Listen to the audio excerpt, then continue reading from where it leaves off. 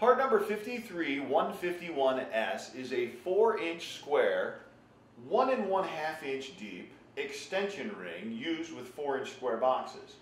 This particular box has both combination half and 3 quarter inch knockouts on all sides, as well as straight half inch knockouts on the sides. The reason this is called an extension ring is that it extends the depth of a box that has way too much wire in it thereby giving the installer the ability to run additional circuits. The demonstration of this box shows how it's quickly and easily installed. Here we have a standard 4-inch square electrical box, and when the wiring capacity exceeds the legal limit, it's important to add additional space by installing an extension ring. Extension rings made by Garvin Industries install quickly and easily by simply sliding the slots in the bottom of the ring directly over the box ears,